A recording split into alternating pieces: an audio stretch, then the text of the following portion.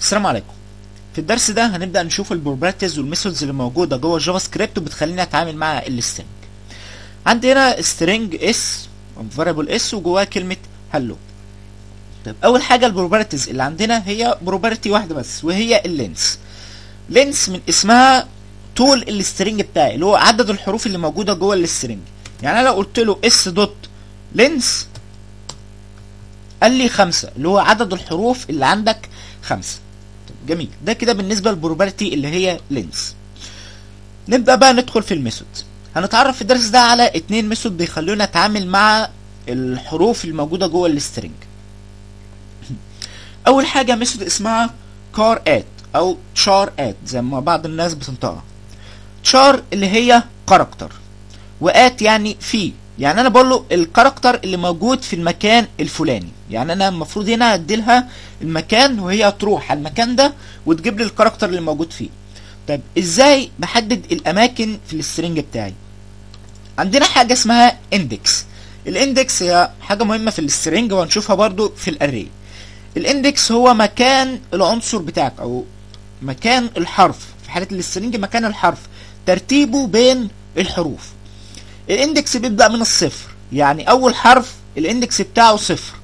بعدين واحد واثنين تلاتة أربعة. يعني أنا عندي ال string اللي طوله خمسة آخر حرف فيه هيبقى ال index بتاعه أربعة. لأن ال index بيبدأ من الصفر لكن ال length بيعد الحروف عادي. اللي هو واحد اتنين تلاتة أربعة خمسة. لكن ال index صفر واحد اتنين تلاتة أربعة. يبقى آخر index عندي هو ال length ناقص الواحد بيبقى يعني قبل ال length بواحد. طب أنا هدي لها هنا ال index أقول له مثلا index واحد يبقى character at اللي هو الحرف اللي موجود في index واحد هيقول لي حرف ال e طيب لو أنا اديتها index أكبر من المتوقع اللي هو هنا كده آخر حاجة عندي أربعة لو أنا قلت لها مثلا ستة هترجع لي string فاضي. يعني أي index كبير عن ال string بتاعي هيرجع لي string فاضي. طيب ده كده بالنسبة ل character at بستخدمها عشان أعرف الحرف اللي موجود في index معين.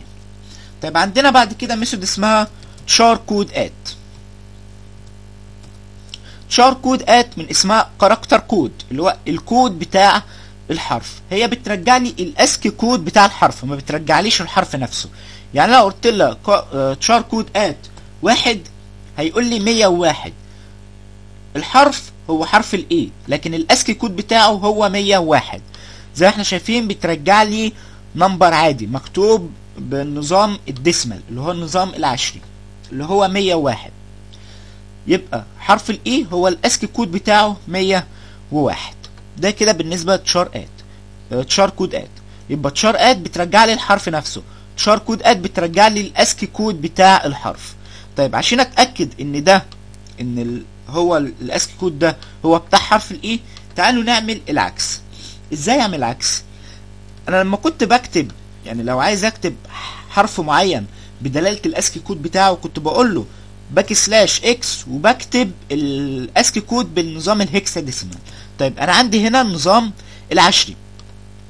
ال 101 مكتوبة بالنظام العشري. عايز أحولها لنظام الهكساديسيمال. هعمل إيه؟ قلنا في ال numbers عندنا method اسمها toString وال method دي بتحول لي ال number لل string وممكن أديلها رقم اللي هو أساس النظام بتاعي. لو جيت شغالة قال لي 65 يبقى ال ال 101 تحولتها بالنظام السداسي 10 هي 65 يعني أنا لو جيت هنا قلت له backslash x 65 طبع لي حرف ال A يبقى كده أنا اتأكدت إن ال ASCII code بتاعي أو ال ASCII code بتاع الحرف ال A هو 101 بالنظام العشري و65 بالنظام السداسي 10 ده كده بالنسبة لإزاي أتعامل مع الحروف في JavaScript يبقى عندنا property ال length بتعرف لي طول ال string بتاعي عدد الحروف الفعلي اللي موجود جوه ال string وقلنا إن آه ترتيب الحروف بيبدأ من الصفر اللي هو ال index بيبدأ من الصفر. وآخر index هو ال length ناقص الواحد. و charAt أو charAt بتجيب لي الحرف اللي موجود في ال index اللي أنا بديه لها. ولو ال index مش موجود بترجع لي آه string فاضي. طيب charCodeAt بتجيب لي الكود نفسه. طب لو أنا اديتها index مش موجود هتعمل إيه؟ مثلا ستة ترجع لك NaN N A N اللي هو ولا حاجة.